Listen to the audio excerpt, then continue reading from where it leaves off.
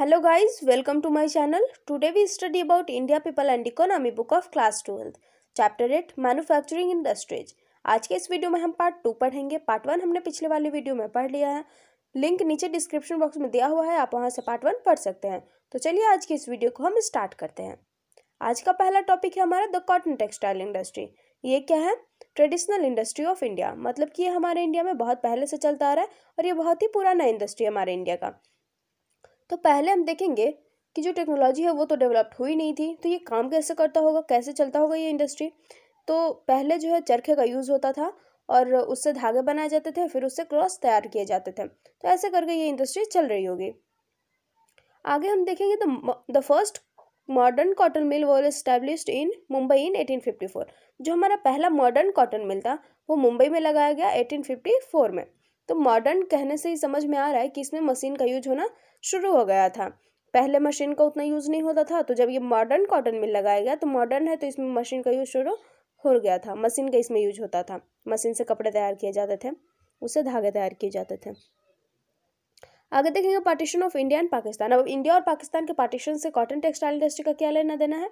तो जब इंडिया और पाकिस्तान अलग हुआ था तो जो हमारे क्रॉप्स ग्रोइंग एरिया है सॉरी कॉटन ग्रोइंग एरिया है, जहाँ पे कॉटन लगाए जाते थे तो वो एरिया क्या होगा? वो भी बट गया। तो पाकिस्तान में ज़्यादा हो गया और हमारे इंडिया में ये एरिया जो है वो कम पड़ गया। आगे हम देखेंगे cotton textile industry in India can be divided into two sectors the organise sector and unorganise sector organise sector और अनऑर्गेनाइज सेक्टर क्या है? ऑर्गेनाइज सेक्टर में जो हमारा है मशीन का यूज़ होता है इसमें, ठीक है? और जो अनऑर्गेनाइज सेक्टर है, यहाँ पे हैंडलूम्स और पावर लूम्स का यूज़ होता है, इसमें मशीन का ज़्यादा यूज़ नहीं होता है। अब आगे चलते हैं, हम देखते हैं स्वदेशी मूवमेंट। ये हमारे महात्मा गांधी जी ने लाया था और इसमें क्या था कि जो फॉरेन कंट्री से हमारे इंडिया में जो क्लॉथ्स बिकते थे क्लॉथ्स जो आते थे, उनका बॉयकट किया जाने लगा। मतलब कि वो उनका तिरस्कार किया जाने लगा और जो हमारे इंडिया में क्लॉथ्स बन रहे थे या फिर हमारे इंडिया में ही क्लॉथ्स बनाना शुरू हो गया। हमारे इंडिया के लोग हमारे इंडिया के कपड़े पहनेंगे, ठीक है? आगे हम देखेंगे the cotton textile industry is located in almost every state in India जो कॉटन टेक्सटाइल इंडस्ट्री है, वो लगभग हमारे इंडिया के सारे स्टेट्स में है, ठीक है? आगे हम देखेंगे production of cotton cloth increase almost five times since independence जब से हमारा देश आज़ाद हुआ है सिंस नाइनटीन फोर्टी सेवन के बाद, ठीक है? तो नाइनटीन फोर्टी सेवन के बाद जो क्लॉथ का प्रोडक्शन है, वो क्या हो गया? कॉटन क्लॉथ का इंक्रीज हो गया हमारे इंडिया में मतलब कि डेवलपमेंट होने लगा, ठीक है? अब आगे देखेंगे हम शुगर इंडस्ट्री सुगर इंडस्ट्री क्या है? Second most important agro based industry in the country ये सेकेंड मोस्ट एग्रो बेस्ड है एग्रीकल्चर पर डिपेंडेंट है और सेकेंड लार्जेस्ट प्रोड्यूसर है सुगर केन का, ठीक है? Cane sugar and contributes about eight percent of total sugar production in the world provides employment for more than four lakh person directly and a large number of farmers indirectly तो ये क्या है कि four lakh से भी ज़्यादा people को employment देती है और बहुत ही, बहुत सारे फार्मर्स को भी एम्प्लॉयमेंट देती है इनडायरेक्टली और ये सीजनल इंडस्ट्री है। शुगर इंडस्ट्री है तो सीजनल होगा क्योंकि शुगर का जो क्रॉप्स है शुगर केन लगाया जाता है तो वो सीजनल सीजनल लगाया जाता है मतलब किसी एक सीज़न में लगाया जाता है। तो जिस टाइम लगाया जाता है, उस टाइम ये इंडस्ट्री चलती है, उसके बाद फिर नहीं चलती। और जो हमारे शुगर इंडस्ट्री है, वो अब कहाँ लगाया जाता है, अब हम वो देखेंगे। Location of the sugar industry within the cane producing regions Maharashtra has emerge as an leading producer of sugar in the country तो ये कहाँ लगाया जाता है? जहाँ पे शुगर का जो शुगर कैन जहाँ पे प्रोड्यूस होता है, उस रीजन में ये लगाया जाता है। और महाराष्ट्र क्या है लीडिंग प्रोड्यूसर है शुगर का पूरी कंट्री में। Uttar Pradesh, Tamil Nadu, Karnataka, Andhra Pradesh, Telangana, Bihar, Punjab, Haryana, Madhya Pradesh and Gujarat states which produce sugar तो ये सारे स्टेट्स हैं जो क्या करते हैं? शुगर प्रोड्यूस करते हैं। महाराष्ट्र के अलावा, ठीक है? आगे हम देखेंगे पेट्रोकेमिकल इंडस्ट्री ये होता क्या है? इसमें तो पेट्रोकेमिकल्स से मतलब पेट्रो मतलब पेट्रोलियम एंड केमिकल्स मतलब दोनों को मिक्स करके कुछ बनाया जाता है, कुछ नहीं मतलब बहुत सारे प्रोडक्ट्स बनाए जाते हैं, ठीक है? अब हम इसके बारे में देखेंगे। Growing very fast in India variety of products came under this category of industries ये हमारे इंडिया में बहुत ही तेज़ी से ग्रो हो रहा है।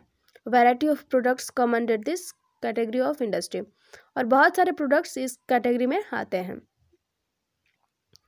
आगे हम देखेंगे many items are derive from crude petroleum which provide raw materials for many new industries are collectively known as petrochemical industries तो जो क्रूड पेट्रोलियम है हमारा, उससे बहुत सारे आइटम्स बनाए जाते हैं जो कि रॉ मटेरियल्स का काम करते हैं बहुत सारे इंडस्ट्रीज़ के लिए, ठीक है? Divided into four subgroups polymers synthetic fiber, elastomers and surfactant intermediate ये चार सब ग्रुप्स हैं इसके.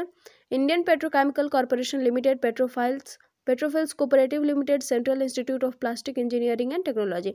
तो ये सब डिपार्टमेंट है, ये एडमिनिस्ट्रेटिव कंट्रोल के अंडर में काम करते हैं और ये देखते हैं कि पेट्रोकेमिकल इंडस्ट्री जो है सही से काम कर रहा है या फिर नहीं। सारी चीज़ों का ये ध्यान रखते हैं, ठीक है? ये सारे डिपार्टमेंट आगे देखेंगे knowledge based industry Indian software has emerged as an one of the fastest growing sector in the economy तो जो हमारा नॉलेज बेस्ड इंडस्ट्री है तो इसमें क्या हो रहा है? सॉफ्टवेयर का डेवलपमेंट हो रहा है, जो हमारा इंडियन टेक्नोलॉजी है। ठीक है? वो क्या कर रही है? डेवलप कर रही है। Liberalisation privatisation globalisation and industrial development in India the industrial policy has been liberalise to attract private investor both domestic and multinational तो हमारा इंडस्ट्रियल पॉलिसी हमारे इंडिया का, वो क्या कर रही है? अट्रैक्ट कर रही है। जो हमारे प्राइवेट इन्वेस्टर्स हैं, जिनकी प्राइवेट कंपनियाँ या फिर जो प्राइवेटली इन्वेस्ट करते हैं किसी भी कंपनी में, उन लोगों को क्या कर रही है? अट्रैक्ट कर रही है। या फिर जो मल्टी नेशनल कंपनियाँ हैं, वो भी अट्रैक्ट कर रही हैं। ठीक है? आगे हम देखेंगे। New sectors are like mining telecommunication highway construction and management have been thrown open to private companies तो जो ये माइनिंग है टेलीकम्युनिकेशन हाईवे कंस्ट्रक्शन और मैनेजमेंट ठीक है, ये सारे जो सेक्टर्स हैं, ये क्या कर रही हैं? प्राइवेट कंपनीज़ को दी जा रही है। मतलब प्राइवेट कंपनी इसका इसको चला सकती है ये सारी चीज़ों को। मैनेज कर सकती है। Globalisation means integrating the economy of the economy with the world economy under this process goods and services along with capital labour and resources can move freely from one to another nation, ठीक है? One nation से another nation. जो globalisation है हमारा, इसमें क्या होता है कि जो इकोनॉमी है हमारा, वो पूरे वर्ल्ड पूरे वर्ल्ड का जो इकोनॉमी है, उससे इंट्रैक्ट करती है हमारी कंट्री की इकोनॉमी। और जो हमारे गुड्स हैं, और जो हमारे लेबर्स हैं, सर्विसेज़ हैं, वो एक कंट्री से दूसरे कंट्री तक आराम से जा सकते हैं। अब है इंडस्ट्रियल रीजन हमारे इंडिया का तो मेजर इंडस्ट्रियल रीजन देखते हैं। Mumbai, Pune region, Hugli region, Bengaluru, Tamil Nadu region region Gujarat region, Chota Nagpur region Visakhapatnam Guntur region, Gurgaon, Delhi Meerut region, ये सारे जो क्या थे, ये हमारे मेजर रीजन थे, ठीक है? मतलब कि यहाँ पे इंडस्ट्रियल रीजन ज़्यादा है। इंडस्ट्रीज़ यहाँ पे ज़्यादा मात्रा में बैठाई गई हैं। अब आगे देखेंगे माइनर माइनर इंडस्ट्रियल रीजन। यहाँ पे क्या है? कम मात्रा में, यहाँ पे कम है इंडस्ट्रीज़ ठीक है?